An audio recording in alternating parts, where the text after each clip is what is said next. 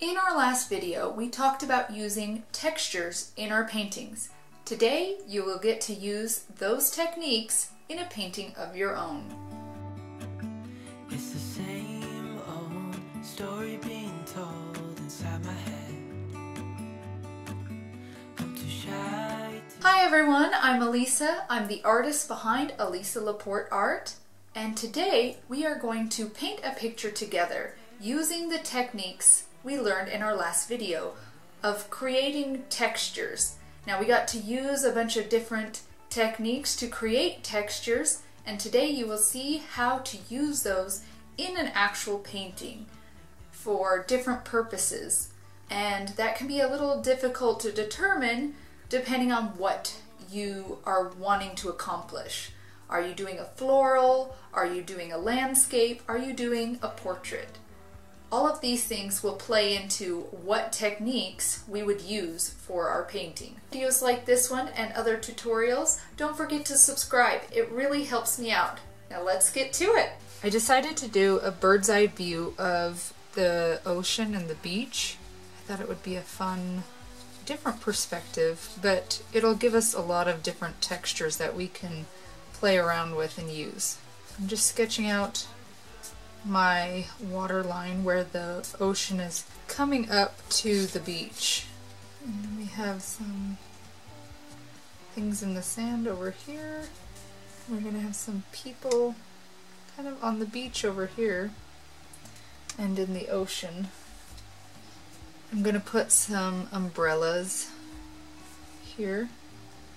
Their shadow over here. And some more people. A few over here. Okay.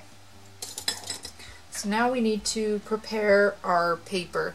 And what I mean by that is here along the water's edge, as the water comes up, it creates a, a foam, a sea foam, and it's white. So we're going to use the technique we had here, where we add masking fluid to create a texture for that sea foam and we'll be able to paint over top of it. So we have our masking fluid. For the sea foam today I'm going to use my liner pen and I'm just going to create little lines and dots not following anything specific just kind of where I think it would be more white and kind of creating a motion like the water is going back and forth. I'm going to leave a little bit of gap holes in there where you're going to be able to see the sand. We'll be able to create a little bit more texture in that once we are done painting and then we take off the masking fluid then we'll be able to create the shadows and the texture within our water, our sea foam. And I'm all going to go ahead and cover this umbrella because I'm going to paint all the sand and I don't want to worry about going around that. I'm also going to mask out some of these people so I don't lose them.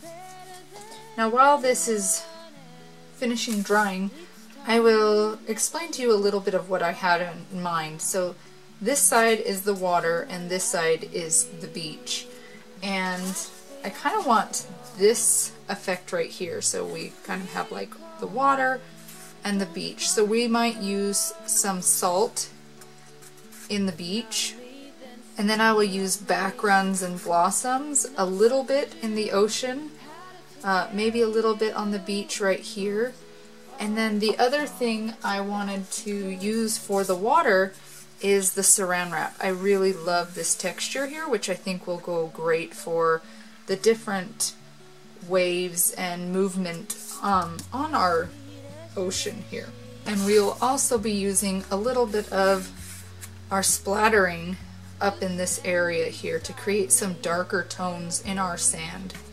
I'm going to mix up a few of my colors here, get them wet, and prepare them so when this is dry, I can start painting.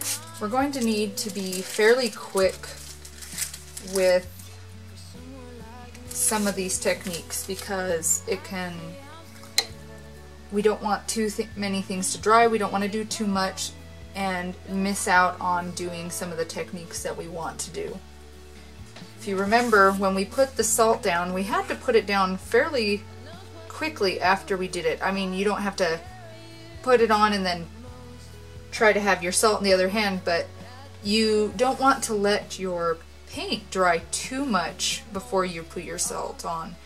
To do blossoms, you want to let your paint sit just for a minute and then you are going to drop your water on so that you do create those blossoms because you want it to have dried somewhat so when you add more water it's going to push the paint away.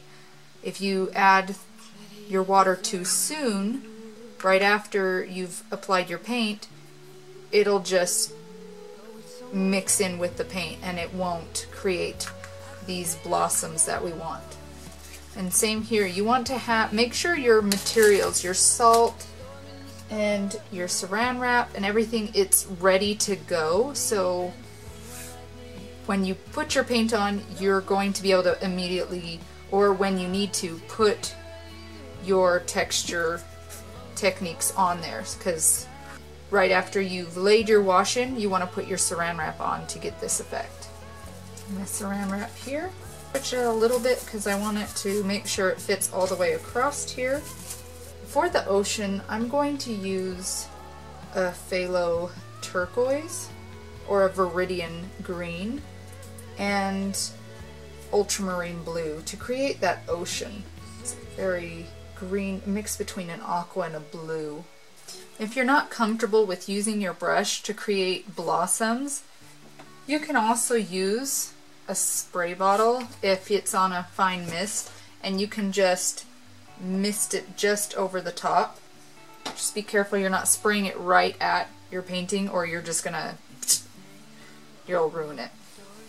It looks like my masking fluid is pretty dry so I'm gonna start here with the ocean looks like our masking fluid is dry, so I'm going to start here at the top, always working from top to bottom. And I'm going to work with our lightest color, which will be kind of a Indian yellow or a quinacridone gold. We want to start out fairly light. It is the beach. And we'll add some darker hints. You can even add just a touch of red to make it kind of an orangey color if you want. So I'm just going to go in, darken it up a little bit more on the sides here. I'm going to add just a touch of red. See, I didn't add much red, so it does look more golden, but it's not going to be like orange. And now down here, I want to lighten that up a little bit. And then I'm going to go back and darken it up with a little bit more of that orangey yellow. You can even maybe add just a touch of burnt sienna and that's going to be where the water has touched the beach, and so it's going to look darker here. And you want a little bit of that to go into your surf because you're going to be seeing through the water, so you're going to see some of that sand come through there. And I'm going to use a little bit of water because I don't want it very dark, and I'm going to add just a little bit of that here below into where our water would be. Now I'm going to go through and I'm going to add some salt. I'm going to use our table salt, the finer salt for this. Not too much. While that is drying, I am now going to quickly go down to my water because this is still wet. So I want to add my lighter green. I'm going to add just a touch of sap green to it to brighten it a little bit more where it's closer to the shore. Not too much. I want it more like an emerald green. Okay, and then I'm gonna go and darken that up and add a little bit of our darker blue as we go down till it's almost blue blue as it gets deeper. I, I caught it while it was still wet, so I was able to go back into it. And then I'm gonna run a clean brush over the line of where my masking fluid was. Okay, here's where I'm gonna first really quick maybe add just a few droplets of water to create blossoms and then I'm gonna put my saran wrap and I'm going to put a weight on it. I'm gonna put this on it, it's pretty heavy. And then you need to leave that on there until it is dry. You can see a little bit of a blossom forming here. I like that. And you can see the sand starting to form. We need to also let this dry all the way before we do any splattering or any detail work. So on this one, we'll have used our salt, we'll have used our masking fluid, spattering, saran wrap, and blossoms to create this painting. And you can get really creative with your textures. You, I've seen them done in paintings of animals and people. You can use them for the backgrounds, the foregrounds. It's a great technique to just really make your paintings pop. So we're letting this set. We put our saran wrap on it. We used green. We used a viridian green, a little bit of sap green, and some ultramarine blue to create our water. And then we just put a few droplets of water to create some blossoms and then we put our saran wrap on it and we're letting it dry. And then we put salt on our sand so we can create a sand texture and the lights and darks of that sand. And now we are letting them dry before we start the next step. Now that the paint is dried, I'm going to take off my weight and we're going to take off our saran wrap. You see we have a fun design here. And because it's dry, I can actually layer some colors because I do want it to be a darker color here. And it's okay if we layer on top of this because it'll still show through, but it won't be so prominent. I'm just going to add some color. I want this to be a nice deep blue down here, like the ocean is. And I'm going to lighten it up a little bit more. I'm just going to add this viridian and then add a little bit of sap green to it to brighten it up. I don't want it everywhere because I want it to be light as well. And I'm going to take my paper towel and dab here a little bit.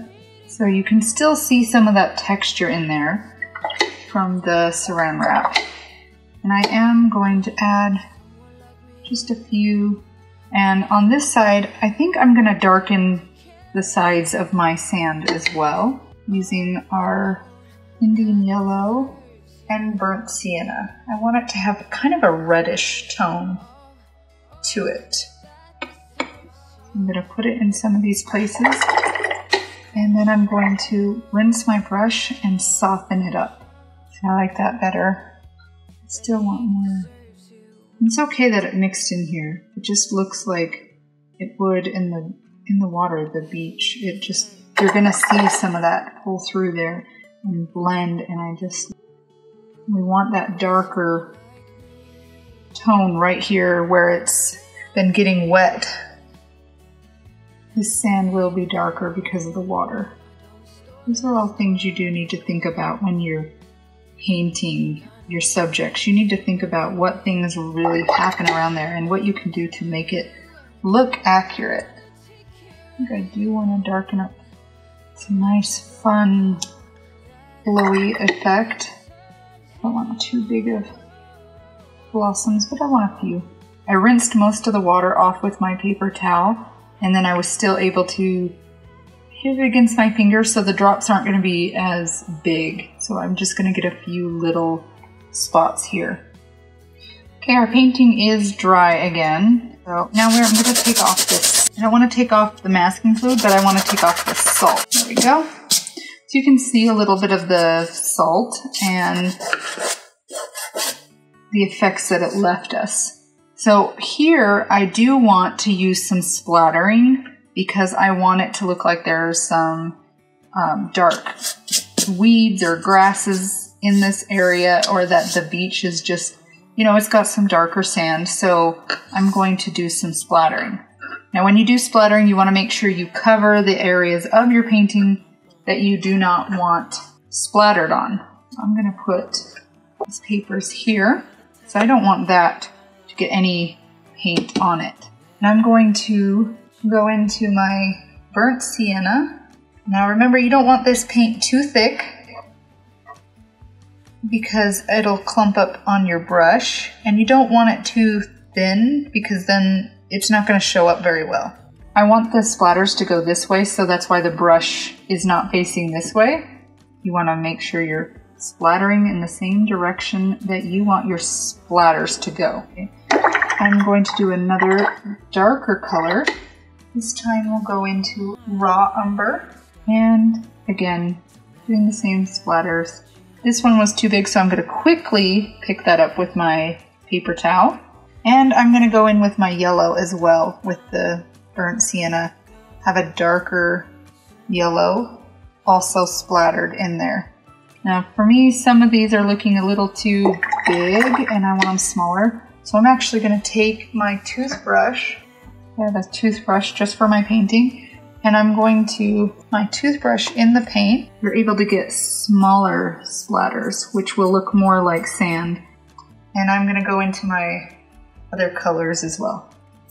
I want the darker ones to be closer to the water where it's going to be darker. Okay, then we can take these off. As you can see, we have we have our sand, on here. And if you don't like some of those, they're too big, you can always try and lift them out a little bit. Okay, so we just took off our masking fluid and now we can work on the details. And I know it looks really white, but we are able to now work on the details and soften up this really, really white with tiny bits of our ocean color and tiny bits of our sand color to make it not so white. So I'm going to take my number 8 round and just go into my lighter aqua color, the one's closer here, and very watered down. So just water down some of yours so it's very light because we don't want it dark. We want just some light spots. And we're just going to touch a few spots here and there so it doesn't look quite so white. And then we will go into a slightly darker color and let it blend. So you're just going to touch a little bit where you did before and it'll kind of just bleed into that and feel more natural. And then we're going to just so lightly add some of the brown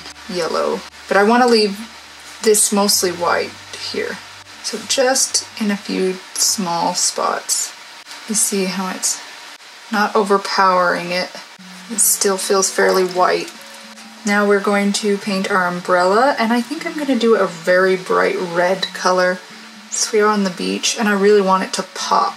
I'm actually going to go in with a smaller brush, probably one of my rigger brushes. Start over here by the shadow and then I'm just going to, instead of going back into paint, I'm going to go back into my water because I want it lighter on this side where the sun is hitting it. So I'm just going to add some water so it's a little bit lighter on that side. And then when that dries, we can add a few little umbrella details. And because we do want a repeating color of our red, because it's nowhere else in our picture, I'm actually going to have this person over in here have either like a red hat or a red sun swimsuit. There's going to be somebody wearing red over here because we do want to repeat our colors. So I think the two there. Maybe somebody's sunburnt. Does anybody else get sunburned? I do. Take some blue, very dark blue. You're just gonna touch in these areas because it's too far away to really see what they're doing, so you just want them to appear. And I need the colors to be different than what I have there. Mostly dark colors on the sand or like a red is good. These people here, I am gonna add more red some of these. Just touching. Maybe I have a bright green over here. I do want to add some other colors. And then on top of those reds, I'm going to add a, just a touch of a dark color because I want it to look like the top of their head. And I'm going to add a dot for the top of that umbrella. You have their shadows here. These are people playing, you can add maybe try some of their arms. I'm not going to see them too much playing in the water there. And then I'm going to get just a very little paint on my brush here and try and create just the tiniest of lines on the back side of this umbrella. There we go. And you have the shade of that umbrella. Any details you feel like you need to add? I'm going to darken up some of this sea foam here I want to soften up their shadows here. Another person coming into the water here. I'll put a bit of green. So we want that green repeating as well. Now that we're done, we can sign our painting. And you want to use fairly liquid paint so that your paint will run smoothly. I'm gonna use a red this time. There we have our beach. Anybody else ready for summer? I am touching up some of those those people. I am so ready for summer and to get out in the sun. And now we will take off our tape. There you have a beautiful sunny beach ready and waiting for the summer months. I really enjoy being able to do these paintings with you and I really hope that you enjoy them as well. Our question of the day, what techniques or styles would you like to learn about? And would you like to see more vlogs? Let me know in the comments below. I would really like to talk to you about what you would like to see. And as always guys, thanks for watching. Don't forget to subscribe and hit that bell if that's what you're into so you don't miss out on my new and upcoming videos. And for more videos, don't forget to check out these up here. And for more tutorials, check out these over here. And as always, keep on painting.